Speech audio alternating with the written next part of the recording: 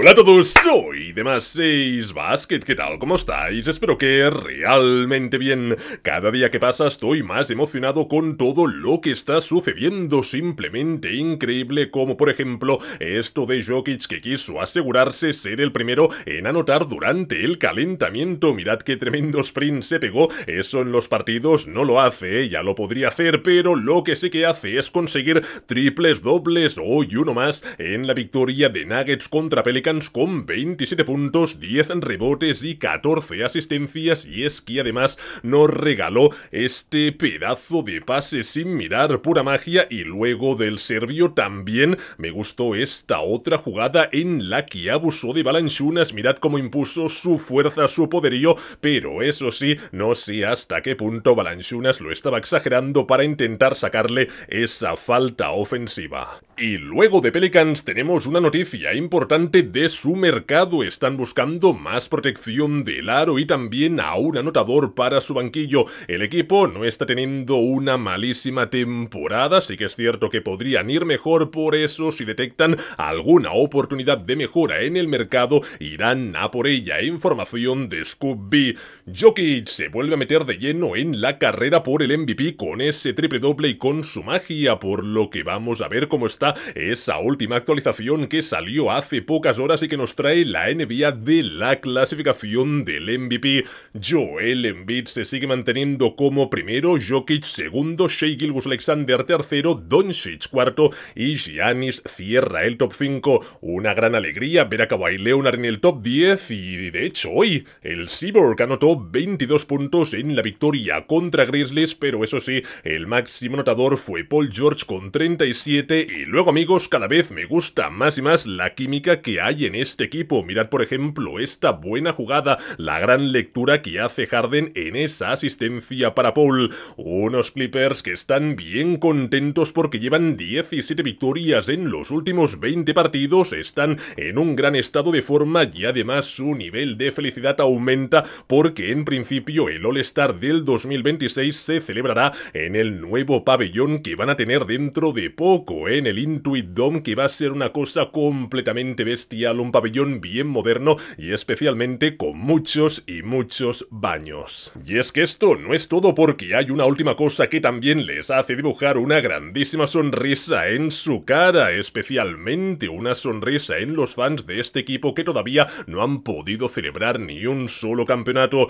Pues, ¿qué ha pasado? ESPN predice que Celtics y Clippers disputarán la próxima gran final de la NBA sinceramente me parece bien, me parece bastante lógico, no digo ni te aseguro al 100% que eso se vaya a dar, que vaya a suceder, pero sí que te puedo dar un porcentaje muy alto en relación a que la gran final 2024 sea entre los angelinos y los verdes. ¿Quién ganaría? Pues yo lo veo muy igualado y sinceramente no descartaría ver un séptimo partido. Y luego, según Moore, los Nuggets, Sixers, Suns están interesados en PJ que sigue sin tener minutos ni ese rol en los Clippers. ¡Qué fácil lo hace ver Banyama! Mirad bien este pick and roll que hizo con Basel, simplemente indefendible. Y luego mirad esta otra acción en la que entra con todo. Imagina ponerte delante de él con la idea de intentar frenarlo. No puedes, ¿no? ¡Qué miedo! Wemby con sus 26 puntos y 11 rebotes amargó el regreso de la Melo Ball. Volvió de su lesión con 28 puntos, pero Hornets perdió,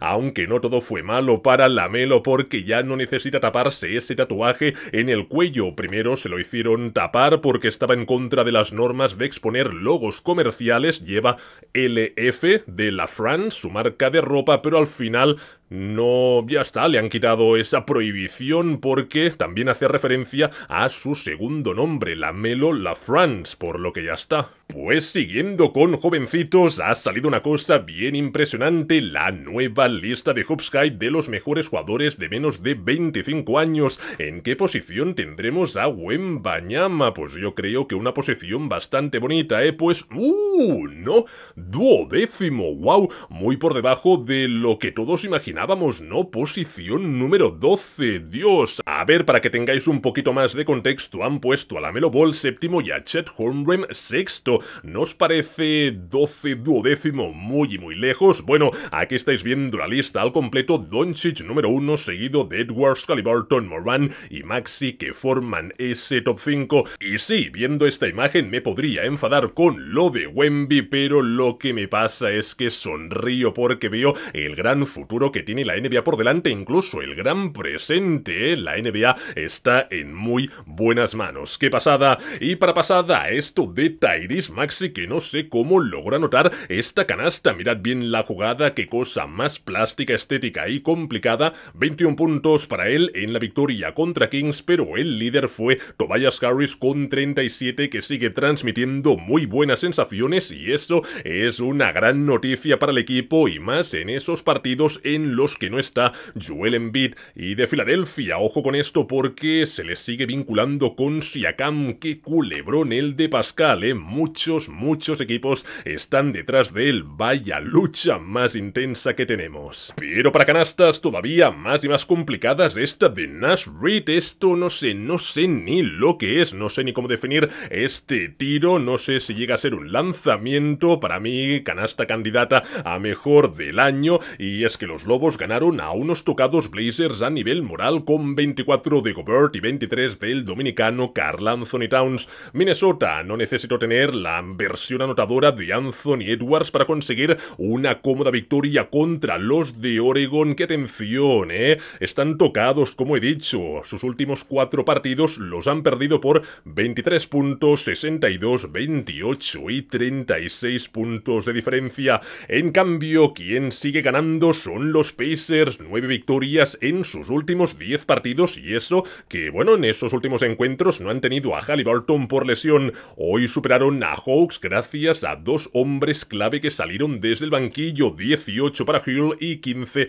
para Benedict Mathurin. Trey, eso sí, estuvo fallón con un 4 de 17 en tiros. Y para fallos, estos de los Pistons en la derrota contra Rockets. Primero, esta falta de entendimiento a la hora de sacar de fondo que les hizo perder la posesión. Mirad la cara de los asistentes, ya lo decían todo, era un poema. Y luego también ese doloroso fallo en el triple final ganar el partido se salió de dentro. ¿eh? Qué rabia cuando pasa eso. Y es que mirad bien la repetición. Alperen Shengun con 29 puntos fue el líder anotador del partido e hizo mucho daño juntamente con los 28 de Jalen Green y los 20 de Van Vliet. Y atención con Rockets, ¿eh? que se ponen con un registro positivo y los tenemos novenos en zona de play-in. Y luego, si os fijáis bien, sorprende y duele al mismo tiempo ver a Lakers y a Warriors undécimos y duodécimos respectivamente fuera del play-in.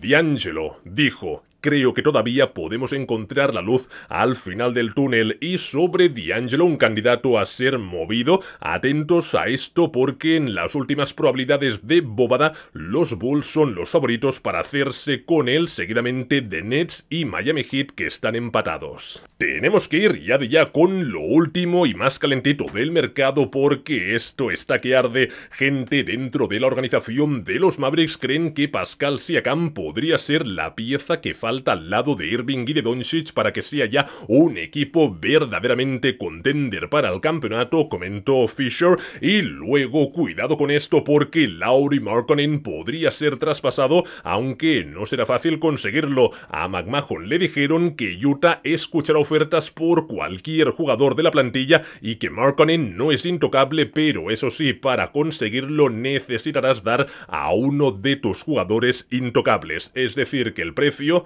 va a ser caro. Hoy los Jazz con 22 puntos del finlandés derrotaron 145-113 a los Raptors de Siakam y luego un ejecutivo del oeste dijo que Pascal podría acabar en un equipo que nadie sabe, como por ejemplo los Chicago Bulls. Y es que la intensidad sigue aumentando. Esto que viene a continuación es muy fuerte. Los New York Knicks están abiertos a traspasar a Julius Randle, según comentó Scooby. Y luego, ¿qué pasa con los Phoenix Suns? Pues están buscando a un escolta alero atlético en el mercado, quieren seguir añadiendo más piezas para poder estar bien listos y bien preparados de cara a esos playoffs, a esa lucha por el campeonato, comentó Haynes, pero creo que todos queréis saber lo último, esa última hora que se va comentando de Warriors. Todos estamos bien nerviosos e intrigados con lo que puede acabar pasando en el equipo de San Francisco. Pues amigos, os traigo novedades que debéis escuchar sí o sí. Golden State quiere conseguir en este mercado a un jugador de 7 pies ofensivo, comentó Kawakami. Vamos, una cosa que yo llevo diciendo desde hace tiempo que necesitan a un pivot fuerte que haga un poco de todo. Y yo me pregunto, ¿irán a por Nikola Vucevic si están buscando a un interior ofensivo? Pues bueno, podría ser una opción bastante viable, pero lo que sí que parece cada vez más claro es que Wiggins ya podría tener los días contados en el equipo y luego lo que está claro ya al 100% es que hoy ganaron a los Bulls remontando con un gran tercer cuarto, 30 puntos para Clay, 27 para Steph y a Kuminga lo volvieron a sacar desde el banquillo 24 puntos, pero dijo que mientras pueda salir a jugar y ayudar al equipo, pues él estará ok.